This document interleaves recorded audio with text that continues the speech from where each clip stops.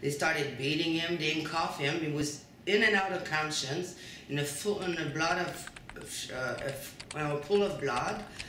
And he was when he was in and out of conscience, when he was out of conscience, he was he was keeping on saying, "V, what's going on?" And he kept on knocking, kicking him in the head with their boots, and he would fall back in conscience. And then, obviously, I think I did what any human being would have done. I jumped on them, trying to defend him, but they arrested me instead. And then they give me a bad beating inside. At the police station, obviously, uh, this strip search me was supposed to be female because I'm a female, but wasn't female who strip searched me. But when they strip searched me, when they give me back my clothes, they give me back only my underwear. I had no top, I was topless, no t-shirt, nothing, and they left me like that for until they arrested, until they released me in the morning. So they left me for over 12 hours like that, topless in my cell, and then all the cops passed by. And they bring me to another interrogation room with no camera or anything. And it was a big black guy there, a policeman, with other guys, with other police and he started to shovel me around and beat me. I remember having a big punch and big kick in the chin and all over my body too, but more like pushing the wall and with their arms instead of their fists. And when they sent me back to my cell, and when they released me at five in the morning, the next morning, when one of the police officers at the, at the counter, when he was getting me my stuff back, he said, whoa, your boyfriend did a good job on you. And I turned around all shocked, like amazed. What do you mean? My boyfriend did a good job on me. My boyfriend didn't do that to me. You did that to me. And he started to laugh and he said, no, no, no, he did that and you can see the charge for him right there. And I could see on the big white board, was saying Chris Garden, assault, uh, domestic violence, assault, and they charged him for assault against me, but he never did what I looked like when I got out of that, of that police station. They did that to me.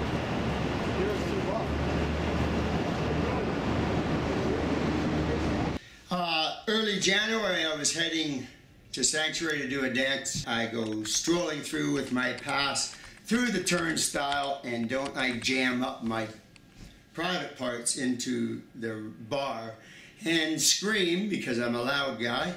I, I say out loud, F, can anything else go wrong? And two sneak cops who are very young that work for TTC but are signed under the Metro Police because they were Metro Police badges. The nice guy said, come here, as I'm strolling to go down to the south northbound. And my attitude was, what, bud? And we chatted. And he said I was under arrest. So I stanced and said, what are you talking about? Well, now you're under arrest for being drunk. I said, what? Four effing beers in my system. I'm dressed in a fedora, a gray suit, and a jacket. He runs my name. Next thing you know, a van pulls up with the ETF. Two sergeants from 51 have a history. It's not that big of a history, but I got warning stars. Now I'm really aggressive. I asked to sit on the floor because now he's saying he's going to charge me for assault because I've stepped on his foot. I'm also being top notch. Buddy, you're fucking with a mental case right now. And I was. I went into Mike McEwen street mode.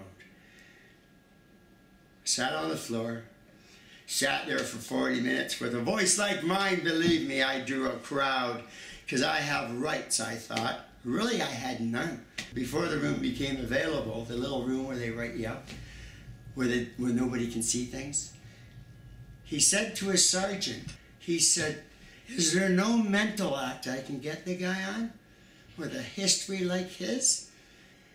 So he still got his rubber gloves on, which I found amusing. Six foot four, 240 pound idiot in my books. And we went into the room. Everybody else left. And I said to him, I think you're very inadequate in your job and you're probably inadequate penis size because you're a real asshole. I don't get what I'm even here standing through this turmoil for. His partner said, shut up. I got one of those on the chest. I smiled and said, see, you're the type of guy that knock out homeless people. I said, with my history, I'm going to do nothing. They need courses, for one, for guys who have anxiety disorders like me.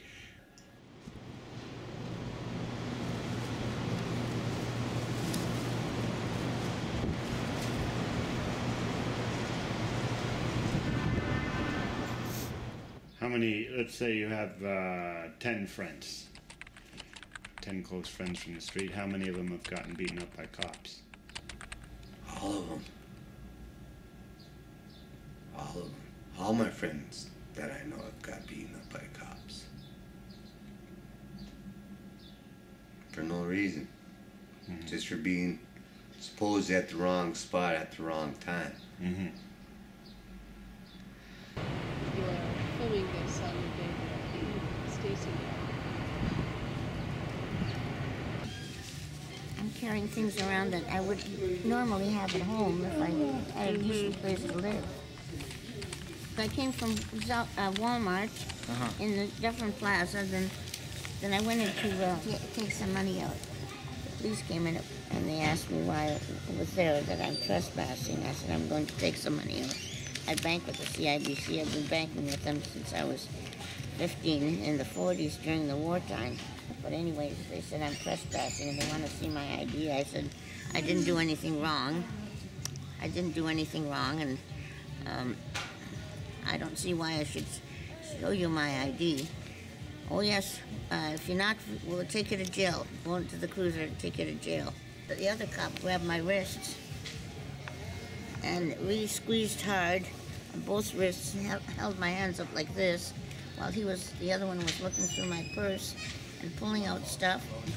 I was uh, pleading with him to take his, please, uh, you know, take your hands off my wrists. I'm, I've got bad arthritis in my hands, and he then twisted my arms behind my back, and I was screaming with pain, and uh, put handcuffs on me, and uh, my hand is so swollen, I can hardly open it up. But anyways, uh, I said, you know, yes, I'm 80 years old, and he says, I don't care if you're 100 years old.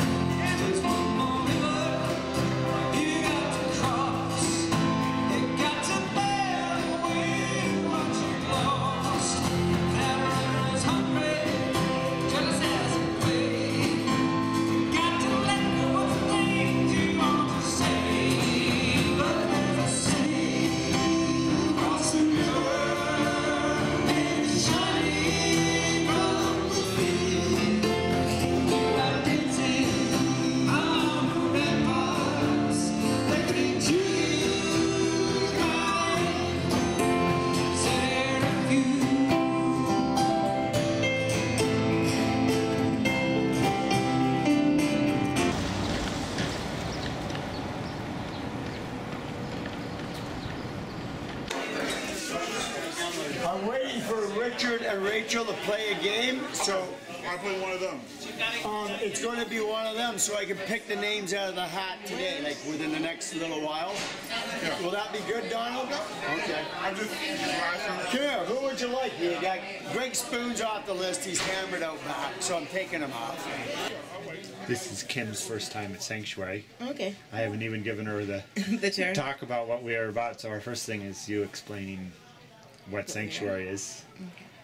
Um, so at Sanctuary, we are a church, but even more than that, we're a community, and we're we're a place that people who don't often experience safe community can have be in community. So that can be people who are excluded from community because they have significant mental health issues. It can be people who are excluded from community because of addictions or because of extreme poverty. And one of the big gifts of, of Sanctuary is that we really believe that community between the rich and the poor benefits both the rich and the poor. That there's a lot that people who come from relative privilege, like me, can gain from relationship with people who aren't. And so um, we all kind of come together bringing who we are and what we are. We bring our gifts and our strengths and also the things that we struggle with and our weaknesses, and we try to live together in relationship. Um, there was a woman, Maureen, so she was coming from an upper middle class background um, from the suburbs. She's a teacher, her husband's a bank guy, and the first time they made it to church on Sunday, one of the guys who was there came up and we have an open space where anybody can do the communion part, the bread and the wine part. And he was doing the bread part and he was just like talking about all that he was struggling with and all of those things. And he said, So, God, really, God, just in the end, I'm just fucked.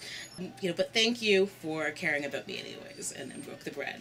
And she said, that kind of being here for the first time and looking around and nobody reacted with any shock when he swore, she thought, hey, if he can be safe here, so can I. Because um, the guy who was struggling with drugs could swear and rant and talk about what was really going on in his life and still be accepted. You've got a, you've got a story to tell. Yeah, it was just one of the guys at the, shel- at the shelter there. I see him and I go, like, what's going? I see his face is all beaten up, and what happened was uh, he got taken in by the police, and he wasn't said he didn't get vulgar with them or anything, and they uh, laid a good beating on him. He's a native gentleman, and it's all going through the native courts and all that. Wow. Look what they did to me when they arrested me. They turned around and beat my head. You've seen the scabs on my head? Oh yeah, yeah, I remember I that. still have scabs here. Wow, yeah, you do. Yeah, that's from them beating me up when they arrested me. you know, in addition to there being active police violence on our folks, one of the, the struggles we had when I was earlier here it was that we had a lot of charter violations of our folks. So things like the police doing unlawful searches with our folks. Um, I remember being in the park with a guy. I'm just sitting in the park, and the police came and said, "Open your bag," and then they took the bottle out of his bag. and I was like, I don't think that's legal, is what I said, because at the time I actually didn't know. It just seemed wrong. And they said, What? Otherwise, he's just to drink it. Which was like, Well, yes, he's an alcoholic, and so drinking isn't perhaps the best choice for him, but there are wealthy alcoholics that will be drinking every night, and we don't go through their bags. The police don't go through their bags and, and remove their alcohol. They picked me up for drunk. Yeah, they For picked drunk. You They just this. punched me in the stomach. Like, I sucked it all up. But why? I never caused them no difficulty, no pain. I'm a gentleman. I, I honor them. You know. It's guaranteeing, like, if we're up in uh, Forest Hill, something happens, they'll be cool. But you come down here in the back alleys where no one can see it, it's a different story. Big different story.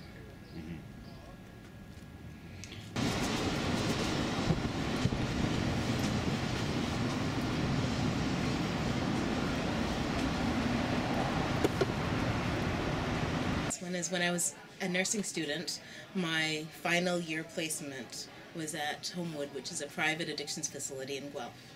And so I was working with doctors and lawyers and people like that who were had addictions. And none of them were telling me stories of having their rights systemically abused in their substance use, even though you know some of the stories I was hearing about them using on the job and them using in situations that are very, very dangerous for other people in a way that um, my friend who sleeps on a bench isn't actually causing danger to other people when he drinks.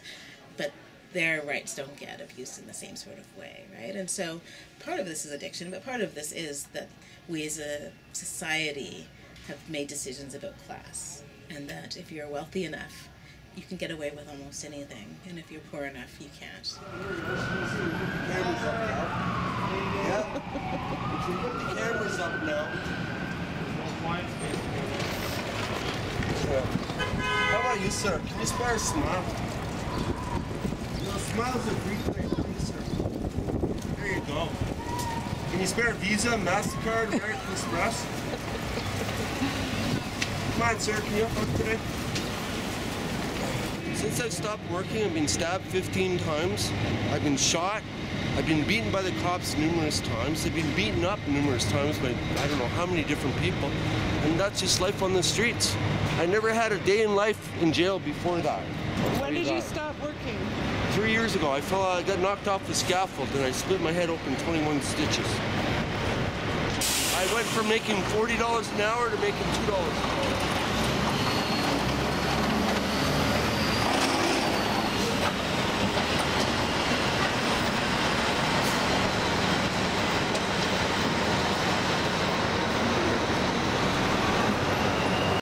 This really was about addiction, then when I was there at Homewood, I would have all of these stories about how the police have been treating this, you know, head of whatever branch of medicine at a big, powerful hospital so badly. And that's not what I heard, right? I heard was that some complaints got in, and so then the College of Physicians, you know, got gathered around him and sent him into training into this program that cost thousands of dollars a day and gave him all of the support and encouragement and care possible, right?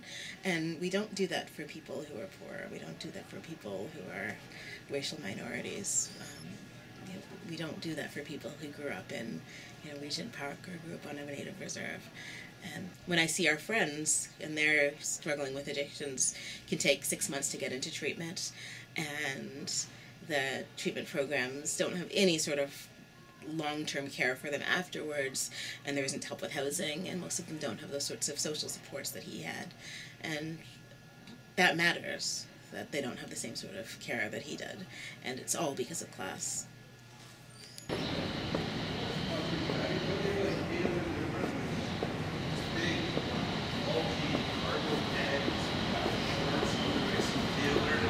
Beautiful colors. I bought a seersucker. I bought a pale blue. I bought. Uh,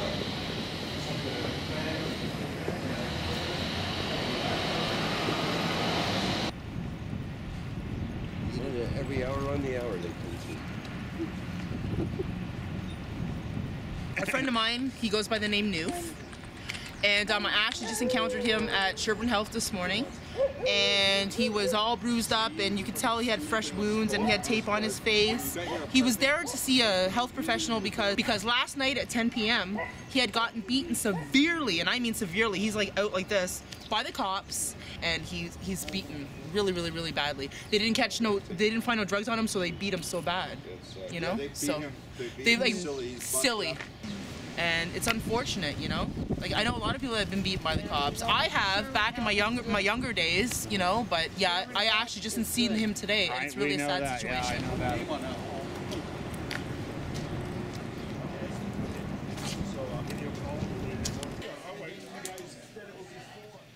I would say that in my experience, there has never been a good relationship with the police and our folks.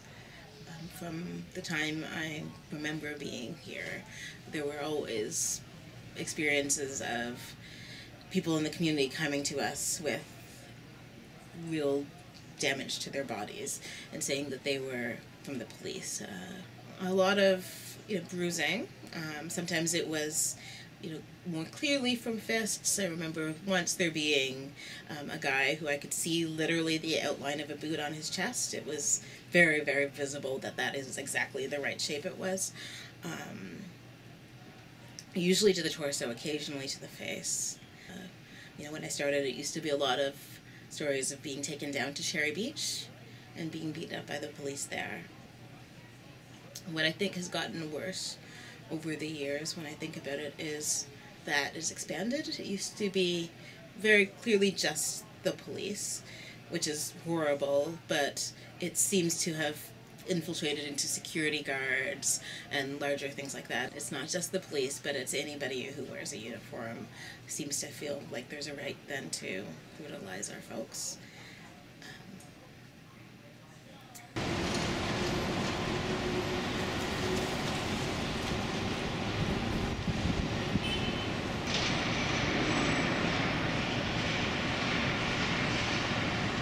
I began working here at Sanctuary in 2005 and worked here for eight years. Early on, I started hearing these stories of people getting beat up or assaulted by police and security guards. I began keeping records just to take people seriously and also to do some advocacy work around those situations. Chris Van Hartskamp and several friends were drinking in this uh, parking garage one cold February morning when security guards from here showed up out of nowhere and started beating on them.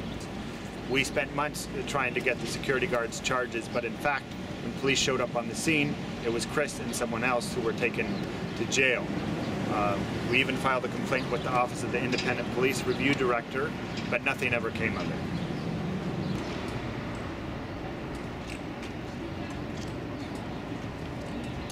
Iggy was stomped and kicked right in front of this parking garage while he was handcuffed and cooperating with police. My colleague Greg Cook and another sanctuary friend, Seven, were witnesses to the whole thing. I heard a commotion outside, so I looked out the window and I saw um, some police on bicycles just across the street, so I ran down. Um, there was one individual um, who's indigenous um, that I know um, who was handcuffed and sitting on the curb, and then I looked again and he was face down on the ground, still handcuffed, um, and being kicked by, uh, by the police officer. Over the next weeks and even months, as I tried to follow up with a complaint to the police about the behavior, um, I was essentially stonewalled. More cases of security guard violence and threats have happened in this parking garage than we can count.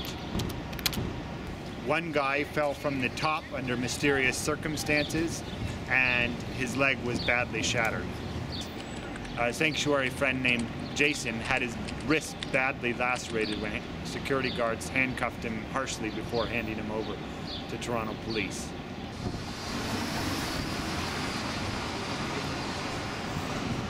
So Doug came to us through a connection with the Mennonite Church. He was um, basically hired by them and seconded by us to be a Mennonite presence on the streets. Um, and what I learned really quickly about Doug was that he uh, is a Mennonite who's who grew up a Baptist, and so I always say that he um, approaches Mennonite ideals with a Baptist zeal.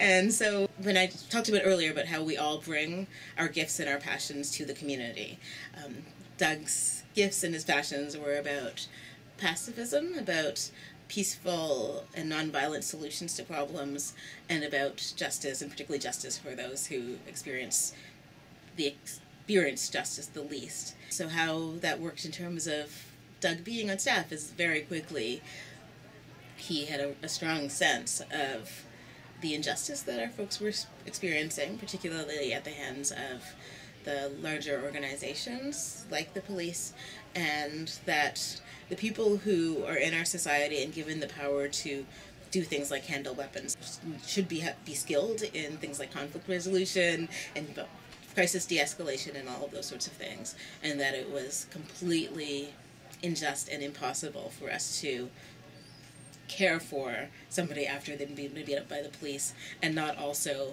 be working to change the police system and so in the midst of Doug doing kind of a pastoral outreach role, he very quickly became our community advocate for people who had been experienced police injustice at any level, whether it would be physical violence or other types of injustice.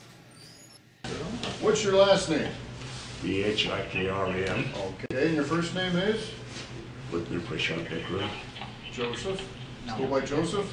Yeah. Okay, we'll go by Joseph. You arrested me before here. Oh, did we? Okay. Seven- What, what's your date of birth there, Joseph? December seven fifty-three. And that makes you how old right now? How old are you right now? Uh, fifty-five or fifty-six. Officer's number. Well, right now, you're not in any distress, so there won't be anybody, any medical reason. No, I- I have to come here. Just Keep going, officer, or you're released.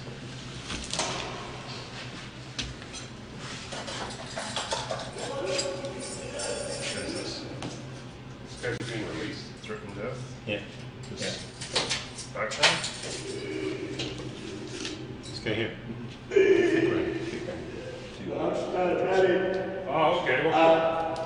I just go down William local medication control. Okay, well, well, come on out.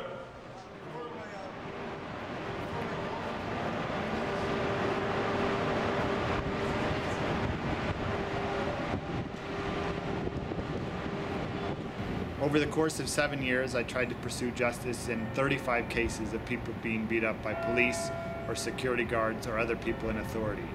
In not a single case was an officer or security guard ever charged. Not a single one. 51 division officers beat longtime sanctuary community member Brian Hutching mercilessly for no apparent reason with billy clubs and social housing on George Street. An officer fell and broke a limb while trying to chase Brian up the stairs. Police then issued a totally bogus press release claiming that Noof had completely overpowered officers during this incident. When he was found several days later, they beat him again in the apartment where he was found, then laid a third pounding on him at 51 Division. Brian appeared in court with staples in his head from the first beating and wounds all over his body.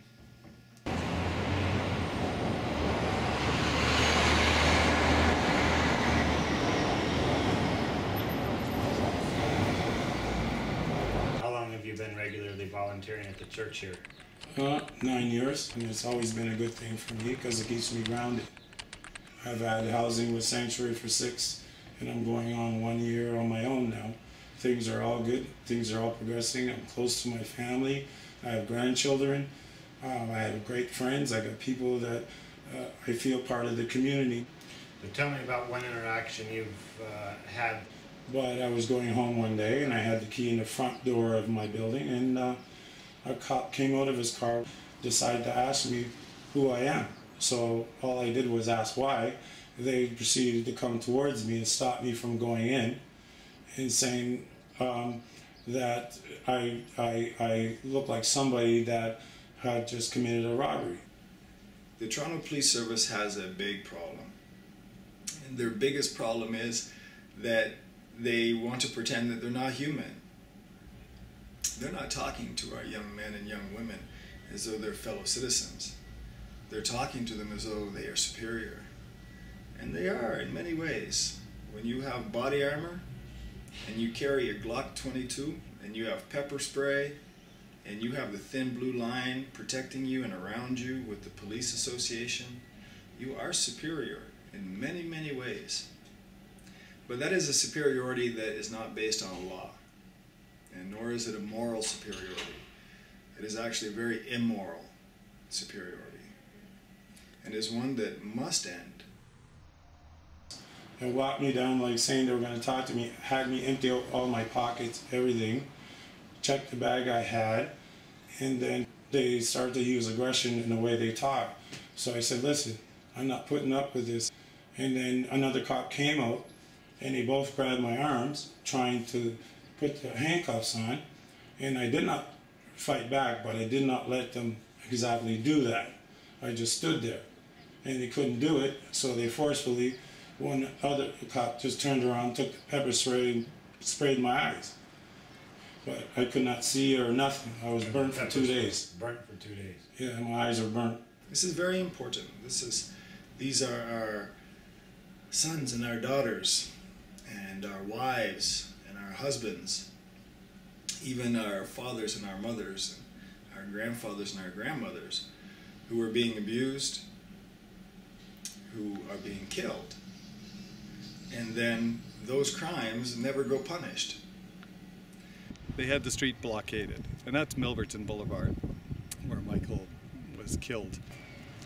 Um, so this is Toronto East General Hospital, and Michael was a patient here.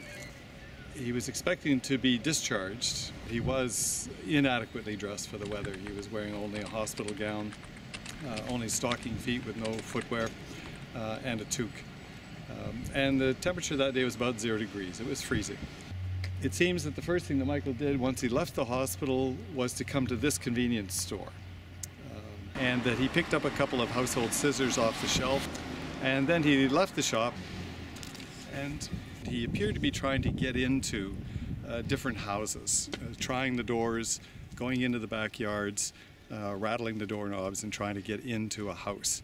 Um, we don't know why, whether he was looking for a place to hide, whether he was cold, uh, or what, but those who encountered him found him disoriented and confused and, and clearly in distress, wearing the hospital gown and no footwear.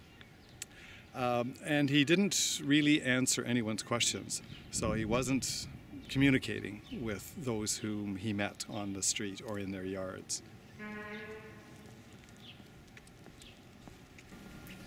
Um, in 1988, there were a number of police murders in our community, and the community was outraged.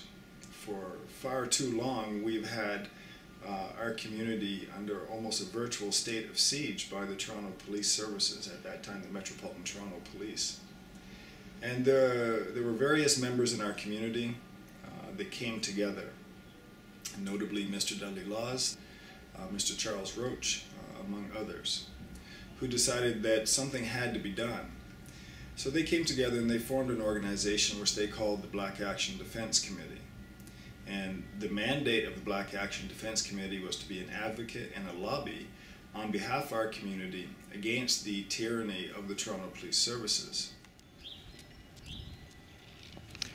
He did get to a, into a house, uh, and he went to the back door and he smashed the back window, and the owner was not home.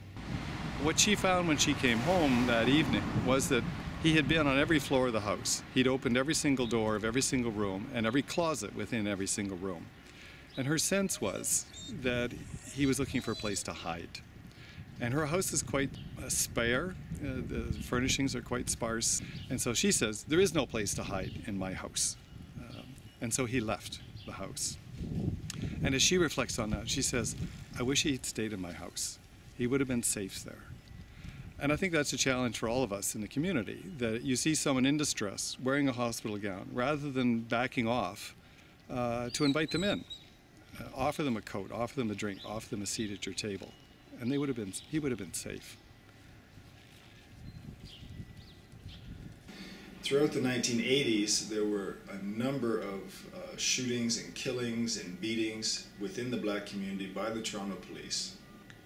Uh, coming up until 1988, uh, and I believe it was the Adams Report that was uh, written uh, about race relations in Toronto.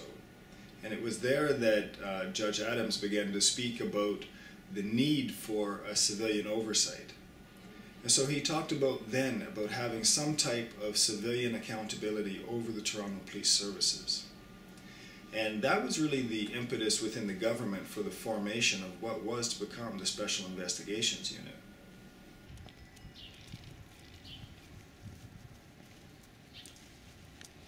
So Michael had come out of one of these laneways and into the street.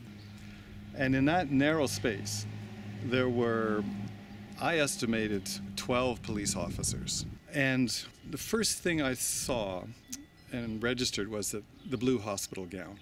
And I said, this is a man with some kind of mental issue. And he's out here on this cold day wearing only a hospital gown. Where's the mental health support for him? Where's the mental health team? It's only later I found that we have very little in the way of mental health supports for the police. Then I saw the officer nearest me raise his arm, and then I heard three gunshots bang, bang, bang, and Michael fell.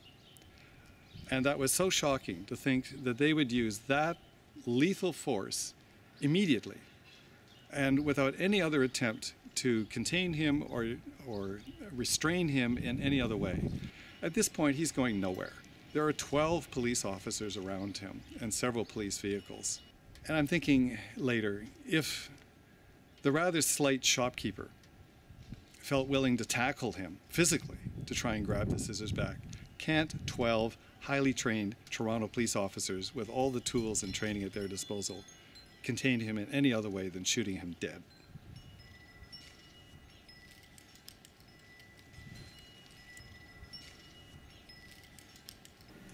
So when they uh, originated the Special Investigations Unit, we were told that it was going to be a civilian oversight body. And we accepted that at face value. Only to find out very shortly thereafter that it is not a civilian oversight investigative body at all.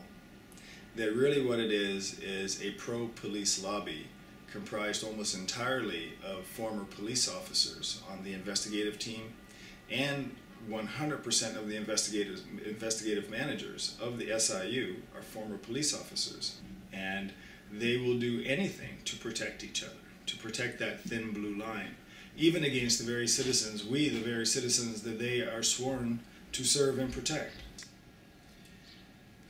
Uh, no officer took my name or wanted to know who I was as a witness. Um,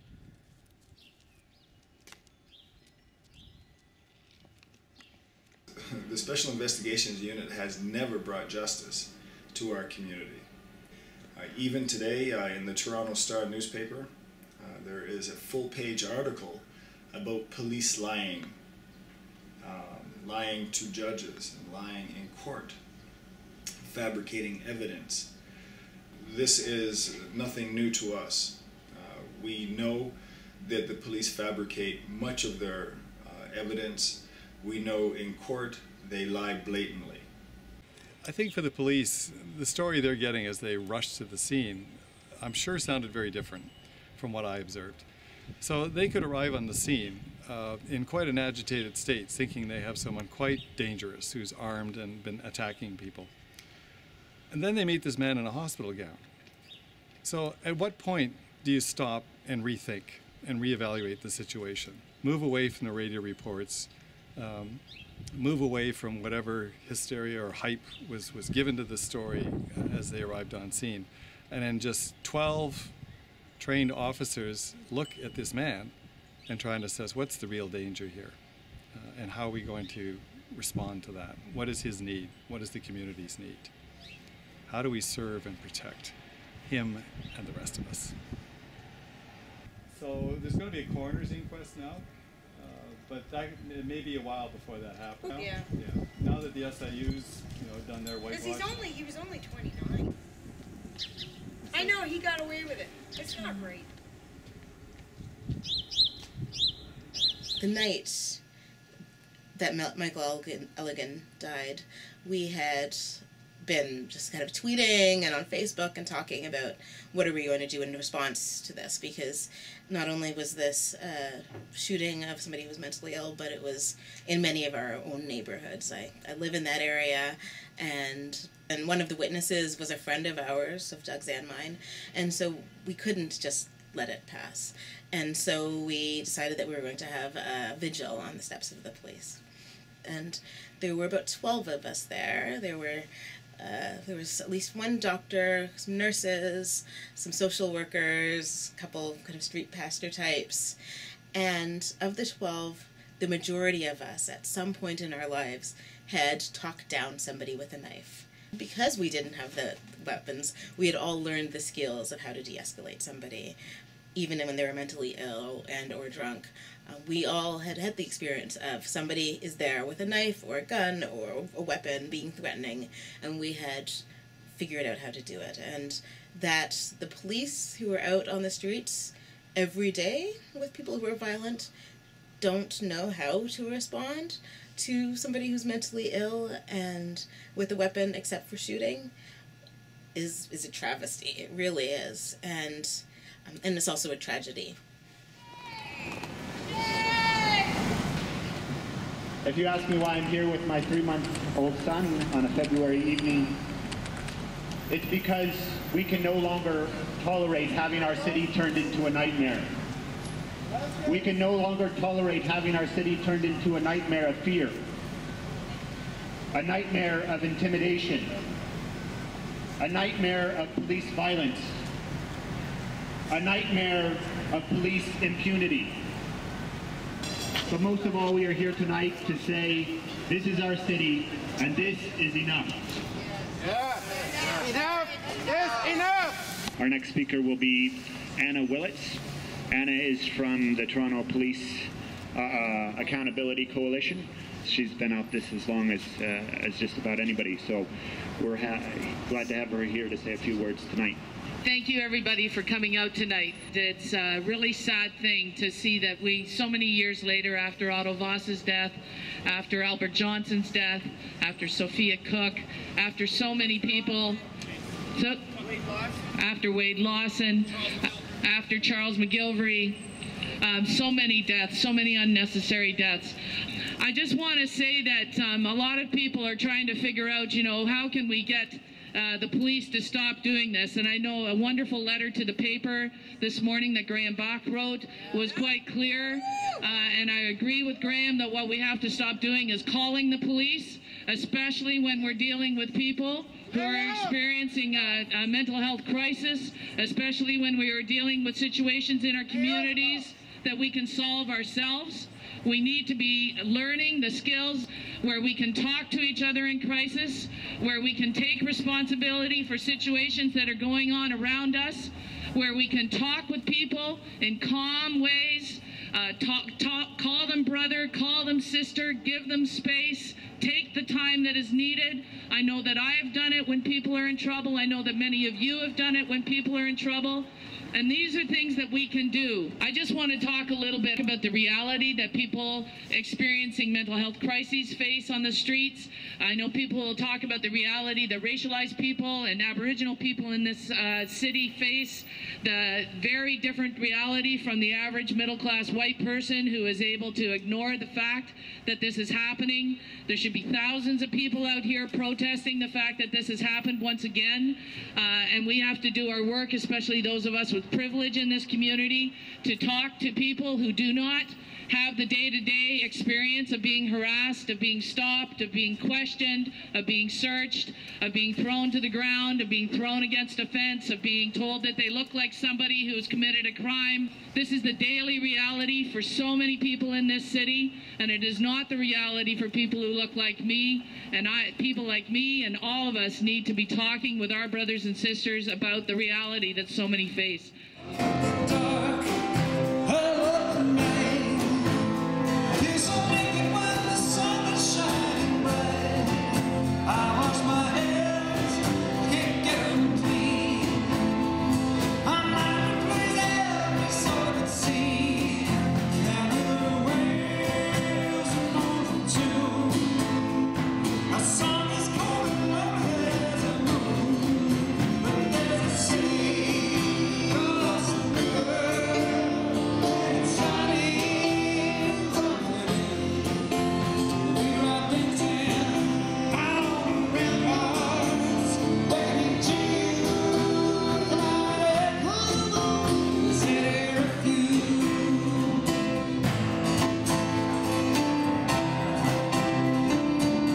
Chris Guardian died five and a half days after a severe beating by multiple officers from Toronto Police 14 Division.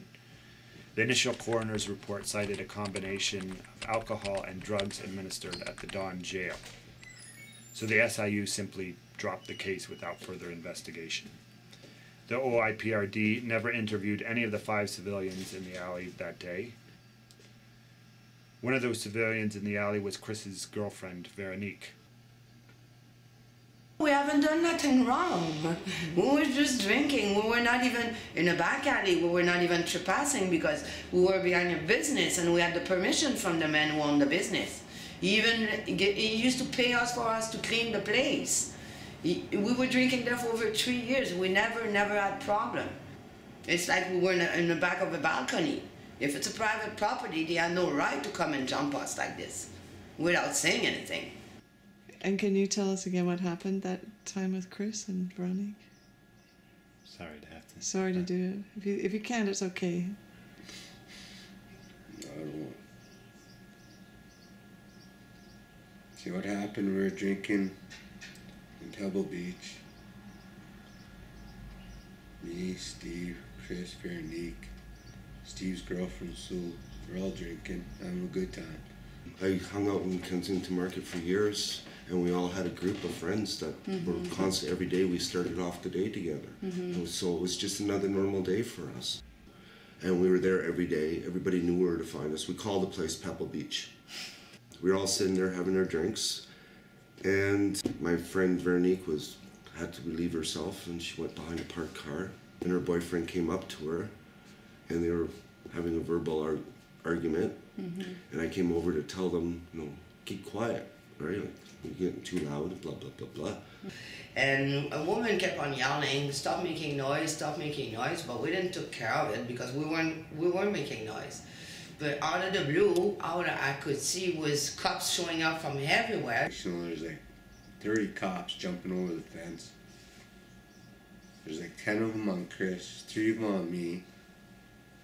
Police cars were pulling up the alleyway. They actually broke the fence coming over it. It's an eight foot high fence with lattice.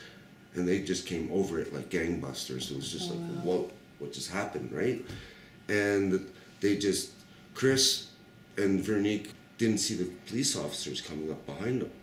And they jumped on him and literally went down behind the car and it was just a sea of cops on top of him. I couldn't see V and uh, Steve because they were around the corner. They had me pinned down. I couldn't do nothing. All I could hear was. So I could hear for like good three minutes. That doesn't sound long, but for people stomping on your head for three minutes, that's a long time. And now all I can remember is when I turned around, I saw Chris. Chris went, "What's going on?" And he pushed him so hard, he went flying face down on the pavement, and he never got up from over there. They started beating him, they cuff him. He was in and out of conscience, uh, full of blood. And Veronique stepped aside, and about seven, eight officers all hit him at once. And his face went off the ground. And he was when he was in and out of conscience, when he was out of conscience, he was he was keeping on saying, "V, what's going on?" And he kept on kicking him in the head with their boots, and he would fall back in conscience. And another police person pulled Veronique off to the side. Three officers came at me, and they just started ripping my clothes off, going through my pockets. And as this was going on, the cops still had Chris on the ground behind the car, and you can hear him screaming, like they were giving him the boots. And Veronique was like, leave my boyfriend alone, it's wrong. She was just telling him, leave him alone, leave him alone, leave him alone. And the officer says, I'm under arrest myself for rape, attempt rape. And I'm going, I don't know what to say to this. I'm trying to explain to him, like, why would I be raping a girl with my girlfriend right here? My girlfriend's trying to say this is not what happened. They never told us why they showed they showed up over there, why they jumped on us that way either. We had no clue. Only at the police station we started to hear it's because a woman had called and said that a, a, a female was getting bang raped downstairs. But when the, the, the officer arrived, who were two female, three male, nobody was being hurt, nobody was being raped, nothing like that. We were friend among friend having beer. And 14 Division with us is notoriously violent. Like it was all the rookies that just got hired onto the force. Like they didn't say words, they just came in wanting to kick our ass. And they had oh, my other two friends up against the wall, spread eagle, searching them. And they had me um, handcuffed, and my girlfriend's crying beside me. And when they turned me around, they were just pulling Chris up, and his face was just a sheet of blood. Like you couldn't see his face for the blood. And the next thing I looked up, seen the ambulance take him away. He had his head all wrapped up, and the blood was going through the bandages and that. I didn't see Veronique attack the police officer after when she saw his face and that she flipped. I, see, I remember hearing her scream, but they were putting me in the police car at that time, arresting me.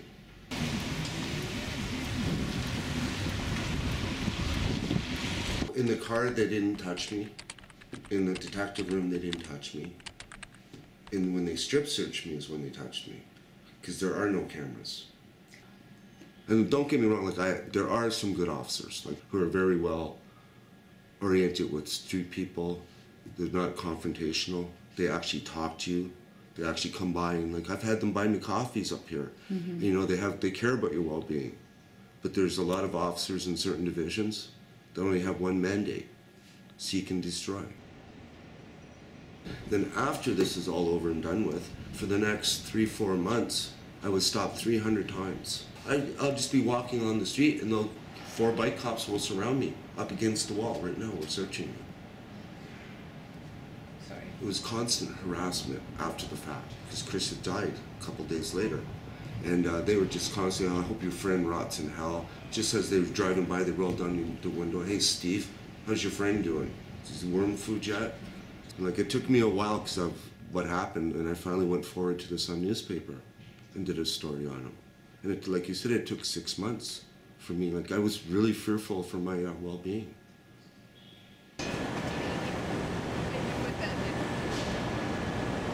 Chris's case is really just one of at least five rather eye popping instances of 14 Division police violence in 2011. Just recently, Ontario's Special Investigations Unit cleared the 14 Division officers who were looking for a trespasser and took Charlie down, inducing a fatal heart attack after he didn't answer to a name that wasn't his. Charlie hadn't talked since a terrible car accident 40 some years earlier. His mom pleaded with the officers, whose names we'll probably never know. And Charlie is on there and his face turned blue. And look, I said, his face turned blue. His eyes are rolling. Oh my God, you're killing him. You're killing him, you stupid. I said, shut up and get over there. I will not, I said. Meanwhile, two weeks before Chris's death, Sergeant Ryan Russell was run over by a snowplow driven by a homeless person who was uh, mentally unstable. Uh, Sergeant Ryan Russell was given basically an international state funeral. So this is how it goes. Someone who uh, is a police officer is killed by someone who's homeless, and there's all the pomp and circumstance. When a homeless person is killed by a police officer, nobody cares. We had tried so many different things, and then I heard about Chris's death. And his friend said that he had been beaten up badly and he died a few days later. Some of the friends even talked about doing the same thing to a police officer that they had done to Chris. In fact, one of them told me that they were tracking a particular officer. Um, I said, we can't do that. That'll just end up with more of you in jail and it won't do anything anyways. And they said, well, Doug, what are we supposed to do? Uh, you're going to the media, the complaints, all of that won't work, and you know it. And I did know it. So I suggested that we talk to some of my friends from Christian Peacemaker team, and they suggested that we not only do a demonstration, but that we do some nonviolent direct action training leading up to a demonstration. And they referred me to Lee McKenna, who's done trainings on nonviolent direct action here in Ontario and all over the world. Let me introduce some, some new folks that have come up and make sure they're okay. Rebecca here is filming. She's my next door neighbor. She does a lot of documentary films. This is Samuel. Samuel. His first lesson. Oh, I guess he was here for one of the other. ones. What we often do in this kind of training is just is that we use a situation that is familiar to one of you, that has happened, actually happened to you. Something just happened downstairs, and uh, one person has obviously been is under the influence, and he was he was calling for Steve, saying, Steve, I don't know if the plan was to go out for a smoke, but he then came and confronted Steve, with whom I was having a conversation at the time. I night for that, okay? What does one do to um, de escalate this situation rather than what happens is something like this? It's a kind of um, starts with A, B then at least meet, uh, meets, sort of like a game of poker, and then raises. And A then meets and raises. And then it just goes So like this. goes all in. Exact, exactly. exactly. There's only one alternative. Yeah, which is. Flight or fight. Yeah. No, that is. But no, but the, the other, the other was, the other We've was. been here before, haven't we? Street justice.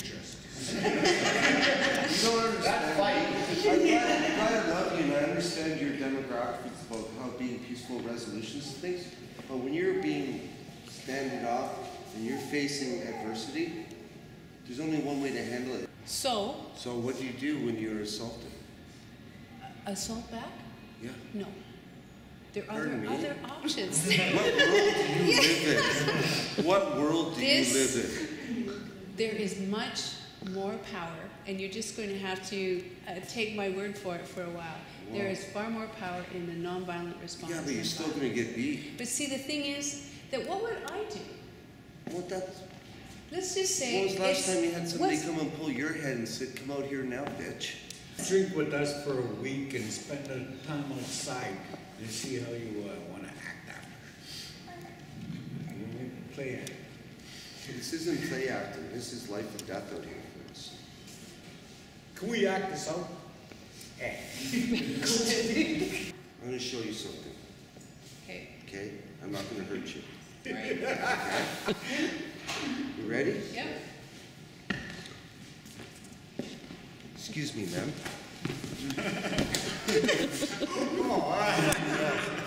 Give me some peaceful resistance now. See, the thing is, Give I, me some peaceful resistance You would- now. you would get- There is no peaceful resistance without, sorry, darling. I didn't mean to do that to you, but that's the, that's the, that's the whole thing right No, but see, the thing is that I.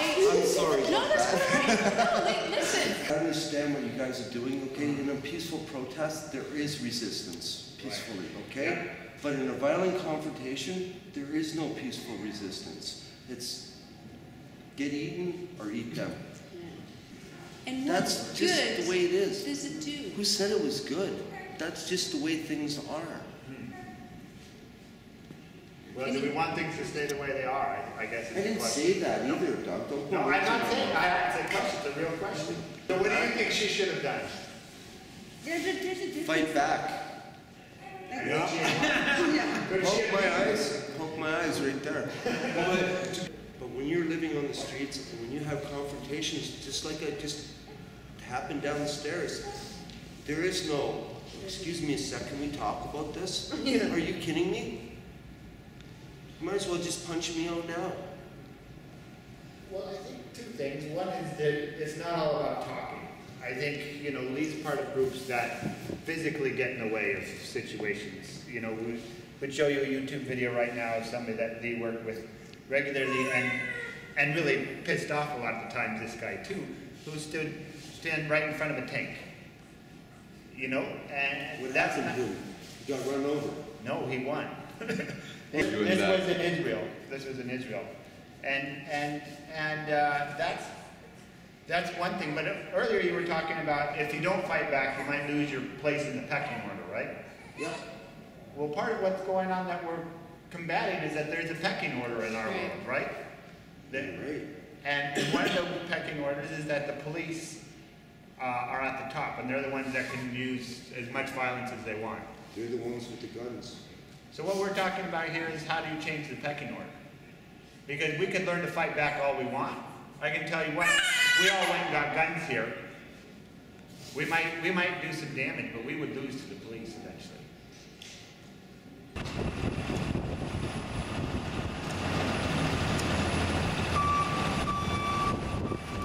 Elizabeth, you'd have to walk up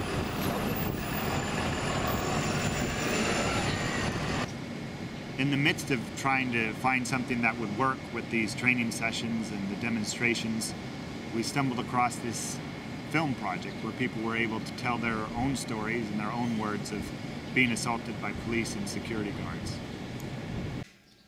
Do you think there's anything we could do as a community to stand up to them? What's what's the best thing we could do? To keep doing this, you know, putting out the word, bring it to the public. Like cops aren't as good as they say they are. Bring it out to the public eye. Just do it like we're doing here, you know. Mm-hmm.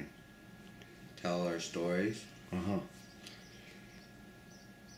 I think what we're calling, what we're in now, phase two. Phase one was um, doing the training, getting Steve on video, doing the 10-minute video we did on 14 Division Police Violence. Not anything off the movie because what it says, like Michael says, it exemplifies the fact of the struggles, tribulations, everything we do.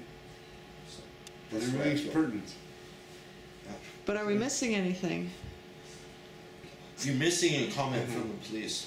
Yeah. Yeah, That's right. you're, you're missing, what are they gonna do to Yeah, change what's it? their reaction to What- this? what are they- Like, even if it's negative, it's a positive towards this film.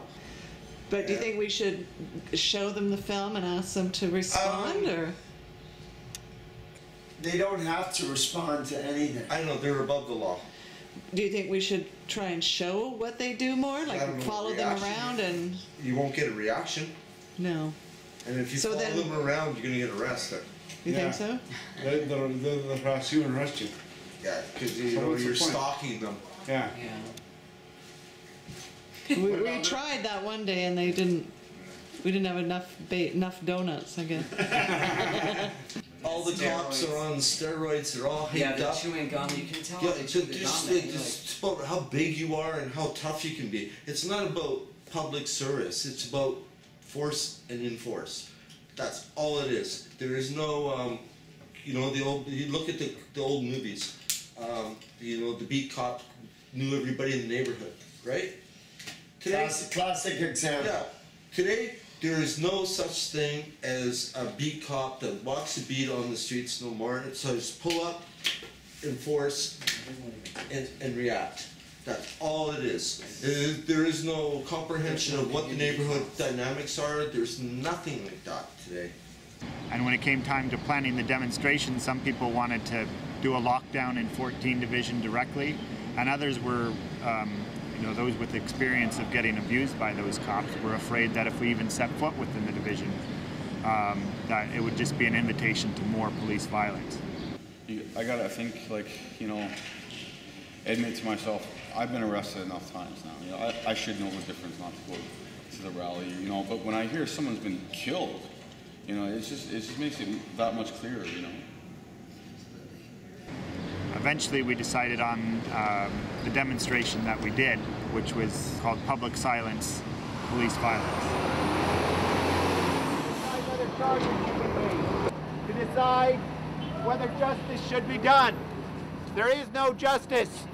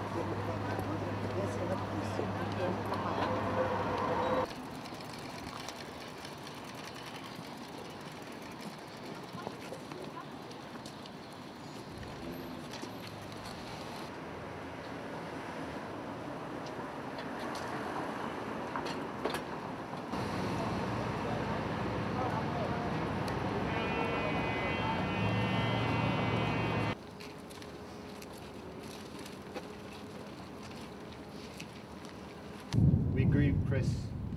We grieve his death.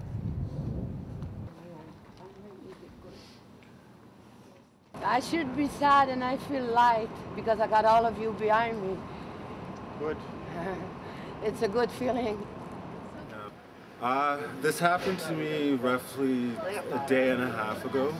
I was uh, drinking with some friends and I decided to go home uh, because I was fairly intoxicated and uh, the cops stopped me. They took me in. I was strip searched and that didn't help. Uh, the next thing I remember is uh, being get, getting my ass kicked by these cops, and I mean, like as you can see by the by the injuries, uh, you know, they didn't go lightly on me, you know, and I was called a faggot, you know, a drunken Indian, you know, and it was. Uh, it was quite surreal, to be honest, because I, I've, I've never been assaulted like that before and I was released the next day, and I'd ex- I've been like uh, experiencing dizziness, you know, nausea, which was which I thought was kind of well, that's some kind of head injury or something like that. So I went to the hospital and uh, they ran a series of tests, and I did have a concussion. Like they they they, they basically said, you know, well, there's not a lot we can do for you right now. Um, had you come in sooner, you know, we could have attended to you, you know, with proper care, I guess. Uh, but the reason was was because I was in custody, you know, not getting the treatment I was supposed to be getting. So, you know, it's gonna. I think it's gonna take a little while for me to get over it, you know, because it's it really affected me. Um, not just on the outside, but on the inside as well. Yes. Like I lost my faith in the people who, you know, who you're supposed to have faith in, basically, you know, to help you and, whatnot. So How did it feel to join the march? I was honored to be there. I, I, I was completely honored to be there and um, to and I was glad to express and share you know this story with with you know other people who actually care about it um, and it's one of those things that are swept under the rug APTN spoke to nearly a dozen First Nations men who call the streets home. All say Toronto police have a bad reputation for being bullies and racist. I was just walking through here one time following an officer who had just ticketed two First Nations people in a row and had walked right by similarly situated white people. People, white people sitting on a bench drinking, and all he ticketed were people who were First Nations. I called them out on. it. I said, "What is this? Uh, ticket a Native Day?" And uh, we jawed back and forth for a while, and finally he said to me, "Well, you know who you need to lobby is Queens Park and get these people more beer money. I can't do anything about this." The cop said that. Cop said that directly. But Hatlem says he knows more than just discriminant ticketing. He claims he's tallied dozens of assaults on homeless people by police over the last seven years. He says the majority of them are First Nation. Why do you think the First Nations people make up over half? Well, I mean, it's uh, several different levels of racism. I mean, uh, or, or historical problems. Uh, you know, First Nations people make up about 3% of the Canadian population, but what we're seeing out here on the streets, and this is true in most major Canadian cities, we see about 20 to 25% of the people that we work with are, are First Nations. You know, we need to work at the roots of what's what's causing the, the poverty and the racism and the, the things that are putting First Nations people out on the streets here. I was going to the Shoppers Drug Mart to steal a bottle of rub. And then, uh, well, they're tackling me and saying I stole this and that. I, then I get the beat down. What did they? What did they? Who beat you down? Uh, to security. Were they in uniform? No, no, it's basically wannabe cops. Uh-huh. Security, and they uh, they beat me down, and uh, well, you know, they make sure there's no marks on your face or anything. They hit you, in uh, you know, the places don't show up. Did they hit you, kick you? Uh, what did they Yeah, hit me, kick me, uh, you know, to do old uh, usual shit kicking. Uh-huh. Yeah. And then I had to sit around there for like three hours in handcuffs, waiting for uh, 11 Division to come get me. Uh-huh. These cops don't really care. Yeah. They think they're above the law. I figure. That's what I think. Did the cops look at the beating you had taken at all when they showed up? No, they didn't give a crap. Mm-hmm. You know what I'm saying? I'm getting a beat down. You know, I took a beat down and, and so, because they thought I was just a drunken thief. Uh-huh. Drunken native thief at that. Yeah. Nothing has changed in 40 years in Toronto towards the dealing with Native people. And that to me is a very shameful, shameful way of looking at things. When I look, when I go and visit the communities in this city, I have a good relationship with the cities, the native agencies in the city, organizations. They have nothing good to say about the Toronto Police Service. Nothing at all. The police here in the city, they're harassing our people constantly, every day, including if you're colored, and now if you're if you're a white person, and if you're uh, act up a little bit, you know, you get shot, you get killed, and that's it. And, and that to me is a scary thing when you when you put these gun-toting, John Wayne style kind of people behind those guns.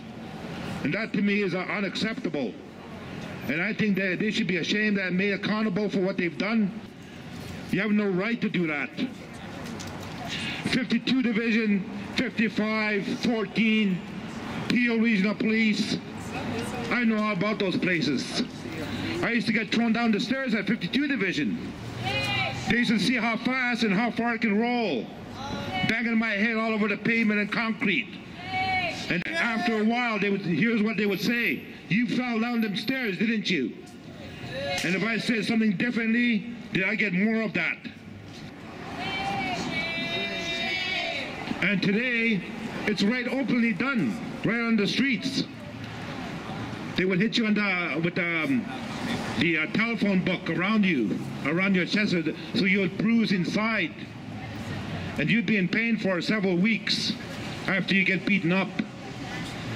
And this is what happened. But now, but now what's happening is four or five of them will get will literally gang up on you to take you down. They don't taser you or nothing. They just kick the shit out of you, and that's what it comes down to. One of my friends just got beat up last week, last Friday, last Thursday, just walking home. He was beaten so severely, they called a stinking, dirty, drunken Indian. This is what they come up with. And look at themselves on the weekends, too. They should look at themselves on the weekends. Look how much they drink.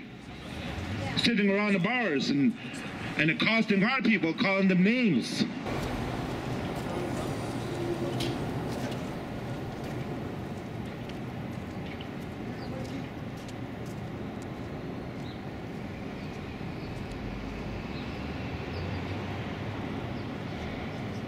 I ended up with post-traumatic stress because of the cops from all the beatings I had from them. And after beating my best friend to death, that's where I got it from. 14 Division. They look at us like garbage, right? So they can do what they want with us.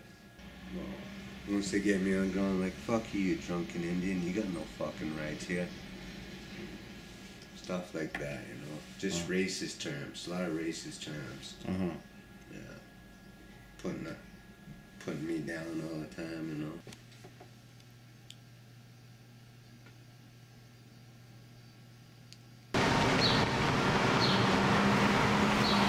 Cliff and Donna were roughed up by hospital security guards here at St. Michael's in a case that made national news. Cliff was dragged unconscious by his hair and left outside in minus 20 degree February weather. The CEO of St. Michael's Hospital apologized and two security guards were fired, but one piece of justice remained unserved.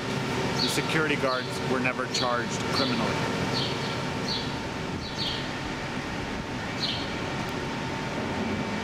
Police were called to a domestic dispute at my friend Dallas's apartment involving another couple, and that couple had left by the time the police arrived, so they just put the boots to Dallas after kicking down the door. Uh, police were not charged. There you go.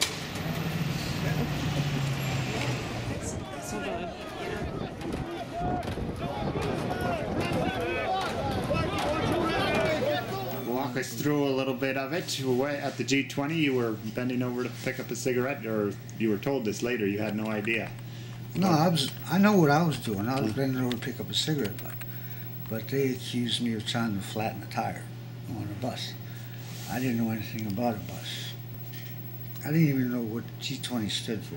Matter of fact, I still don't know what it stands for. I just know it's a bunch of people show up and act like assholes.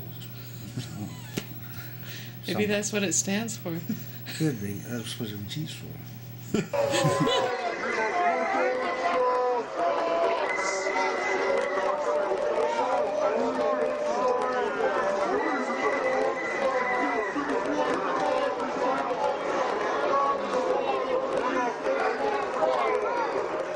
For the citizens of Toronto, the days up to and including the weekend of the G, G20 will, li- will live in infamy as a time period where martial law set in the city of Toronto, leading to the most massive compromise of civil liberties in Canadian history.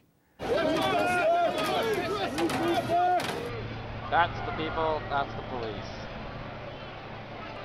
What are they doing to these people? They're terrifying. Where do they want him to move to? Where do they want him to move to?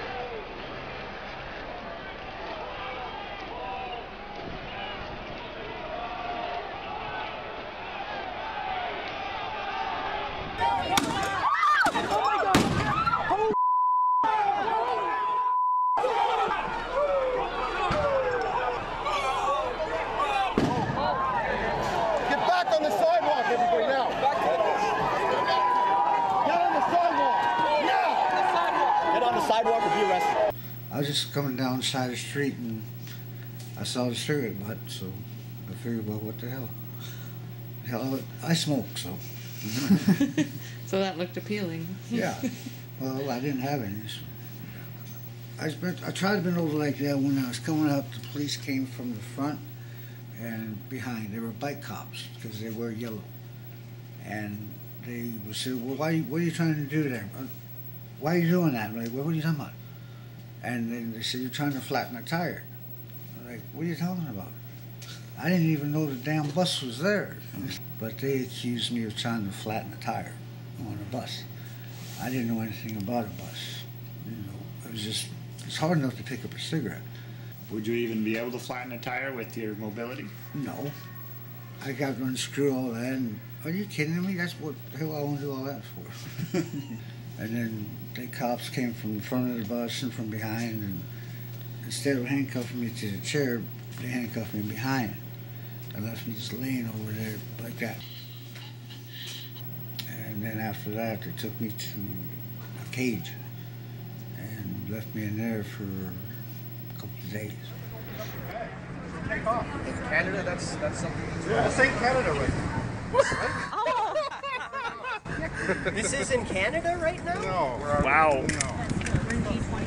That's right. You're in G20. Fast forward 2010, we bring back to life a 1939 act that leads to the arrest of over a thousand people with 99 charges outstanding. Um, to me, that's disturbing. Yeah, they left me in a cage and they took the wheelchair. I didn't have my nurse, my medication, nothing at all. And just let me out that morning and gone, you know. Did you drink or eat at all while you were in there? Um, I couldn't.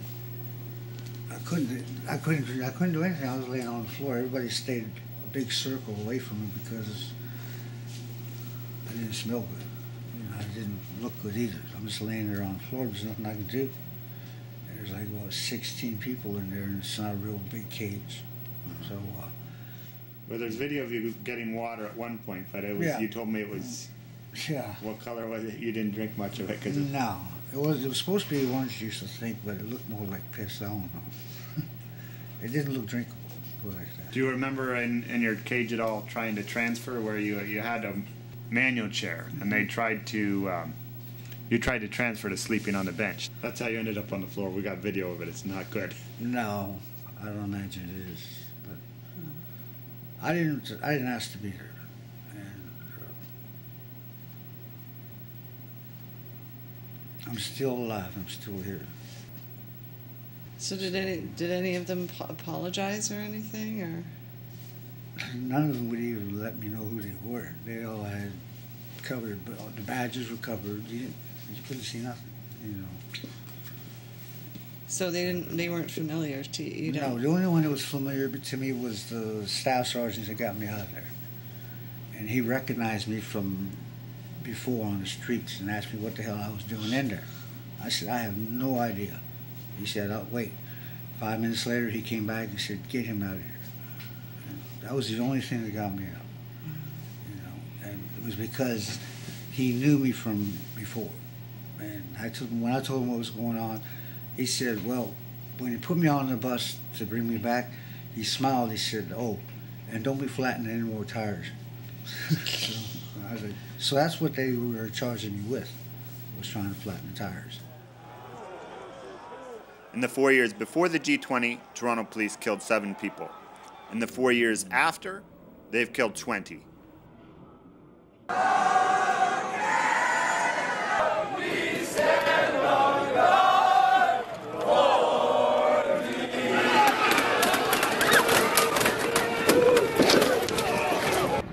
It's impunity.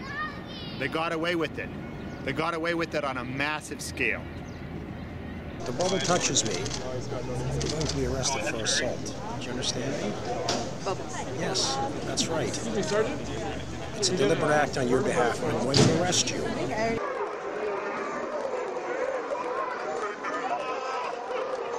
The only solution is to tackle their culture, this belief that their job is to make people comply. It is not their job to make keep people comply. It is their job to work with communities. It is their job to protect people. And whenever you hear the people, the police talk now, all you hear is about how they were ensuring officer safety comes first. And the people's safety comes last. And this is not what we pay over a $100,000 for some of these people to do. We pay them to show some courage. We pay them to show some smarts. We pay them to show some compassion and some ability to understand how to do their jobs. And if they can't do it, we need them off the service and we need people there who do know what they're doing. We want our money back. We want our money back.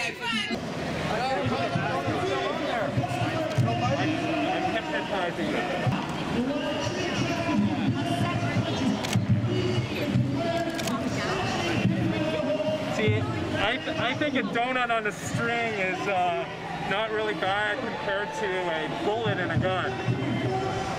So,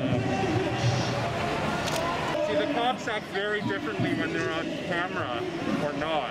This is an accident. Shame! What's happening across the world?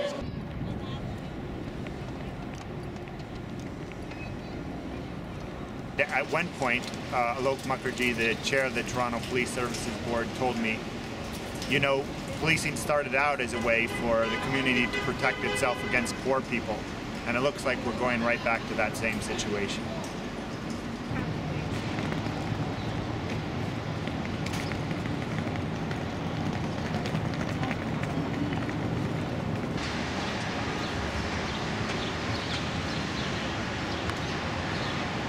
Tara and Ryan were beaten by security guards in or near a TTC station and reported it to my colleague Greg Cook immediately. Tara definitely wanted to follow through. We were still trying to arrange a time to have a long talk about what had happened and what to do when she died tragically.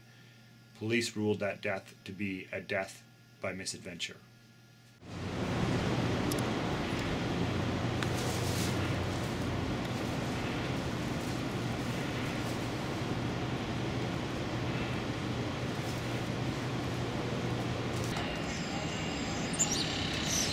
When we call the police, way too often it makes the situation much, much worse. It does not make the situation better. Training is not doing it, as Graham said today. They have been trained within an inch of their lives and they're not paying any attention.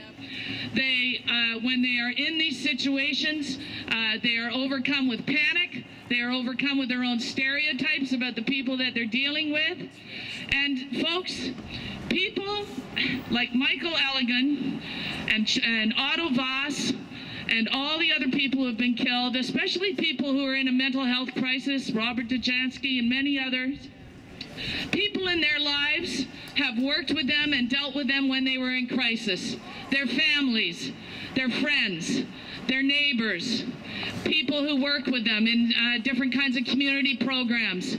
And they were able to work with people and calm them and help them without shooting them. And the reason that they were able to do that is because they didn't have a gun.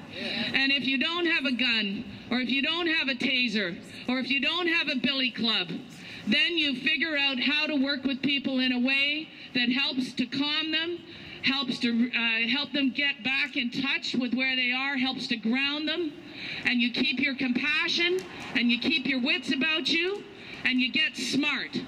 But instead, what we do is we call these officers in yellow and in black, and they come in and they come in in swarms. They never come in by themselves.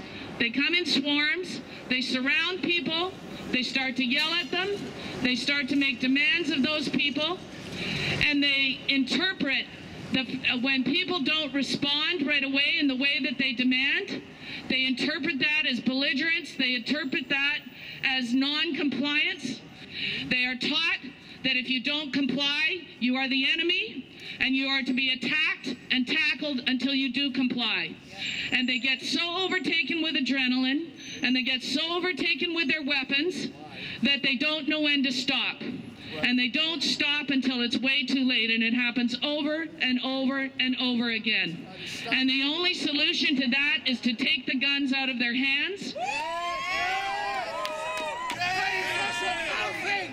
The billion dollar budget of this police service comes at the expense of social services and programs that would have helped Michael Eligon, which are used by people like Charlie McGillivary, which are used by all sorts of other people in crisis.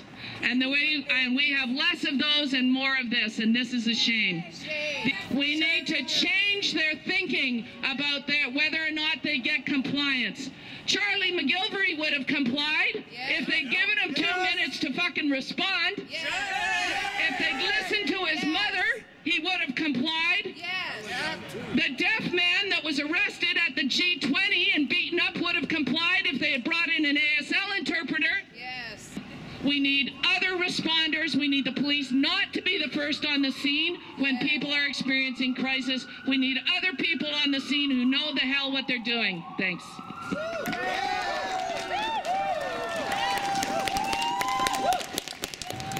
So that's a little bit about uh, some of our struggles in this community. It's horrible the way uh, the way we're all treated, and I really feel sorry for these people that have to have to live on the street because uh, now, from what I understand, uh, since the people have been speaking out, is that they um, they're uh, bothering our the homeless people now, kicking them off the, the corners. They always were. They're telling them move on or you'll be arrested. That's what uh, been going on the last two or three months now. But that we have the power. Yes. We put them there, and we also have the power to take them out. Nothing has changed, and nothing's going to change. The only one that's going to be able to bring change is the grassroots people themselves. That's every one of you guys here today. We're the ones that are going to bring that change. It's time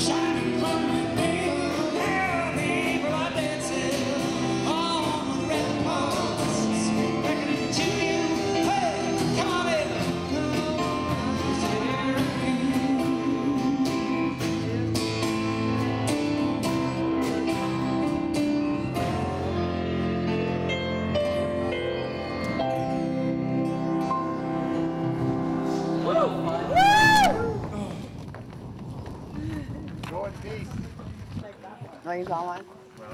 I should be sad and I feel light because I got all of you behind me. Good.